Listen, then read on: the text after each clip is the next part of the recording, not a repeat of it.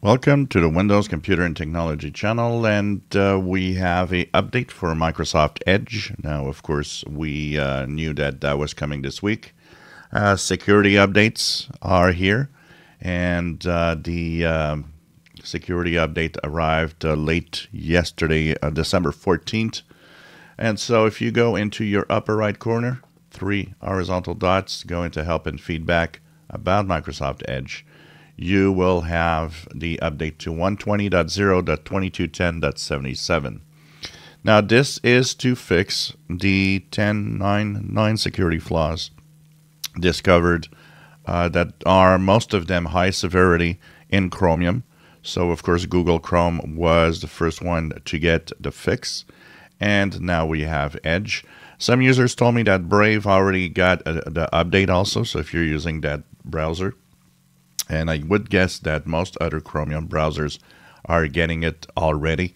So it's important to uh, update. Remember that that's your number one security. Once again, too many people think, oh, number one security, I'm going to put an antivirus. Nope, number one security is all the updates.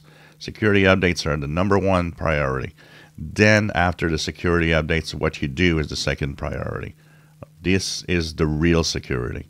Unfortunately, too many people think otherwise, and it's not the case. And so, um, the web browser, of course, being one of your first lines of defense because that's where you go to browse the web.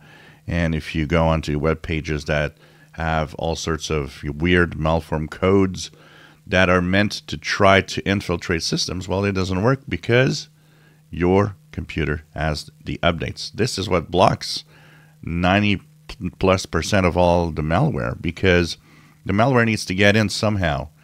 And most of the time, it gets in through either a flaw or an action from yourself. And the flaws, well, they're fixed if you have the updates. And yourself, well, you just got to be careful not to click on everything you see or, you know, just use your uh, common sense basically works very, very well in uh, staying safe.